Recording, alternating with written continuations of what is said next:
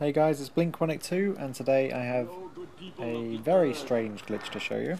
How you can get from here at the art gallery all the way over here, which is about a mile away, in, wow, it's just a floating basketball court. Now this was featured on the first Skate game, it was at the school, and you could also get here on Skate 2 because they added it as a DLC pack for school. And now you can get here on Skate 3. So what you want to do is come to this location. Uh, this is at the top of the mega ramp at the art gallery. You have to glitch out of bounds, just jump over the fence to get here. Um, once you come to the top of the mega ramp, you'll see these two buildings. Now what you want to do is build a tower using this big yellow container. Uh, this is only a temporary tower because it will keep falling over because you're actually building on a hill. Uh, once you build built your tower, get this big pipe, and then you can run up it to actually get onto your tower. Like that.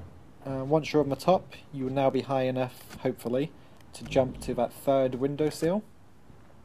Now once you're on this little window ledge thing, uh, you will then be high enough to use the object dropper to actually place the container on its side. Now once it's on its side, you want to just place a ramp on top of it.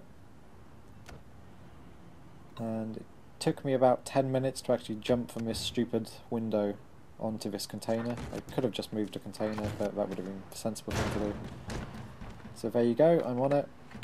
Now you want to add the container and the ramp to your session marker and just keep doing the backwards man. So you're going to see now just how far away this basketball court is. It's that tiny little rectangle down there. And to make things just impossibly hard for us, as you get closer to it, the screen turns completely black. So you don't know if you're too far to the right, like I was just there, by about a meter, or if you're too far to the left, or if you're not even going to be high enough. So I was just checking with the camera there to see if the camera would pass through it, and it didn't, which means it's solid ground, so I was very happy about that. And I think after this attempt, that's the one I actually make it. It did take me about 25 minutes of just purely doing the backwards man to actually get this, because you have to get a full speed and full height one. And it's really only just within reach. So as you can see the screen goes completely black, I had no idea if I was going to make it or not. And then as you get closer it just kind of reappears. And I was so happy that I actually spawned back on here and not on that stupid yellow container. Now there's not really much to do on here, or anything to do, it's just one of those cool places to visit, especially if you played the first game. It's got all the same graffiti and stuff as the uh, school had on the first game. So I think they've literally just not bothered to delete this for whatever reason. They probably thought no one would ever find it. Um, I just decided to turn it into a proper basketball court, as you can see. Now I'd like to say thank you to Mystify. If you've not seen his videos you should watch them because they're pretty cool. He does a series called 5 Things You May Not Know About Skate. And this was featured in one of them. Now the guy in the video, he didn't actually get here. He just kind of got near it and then he zoomed his camera in.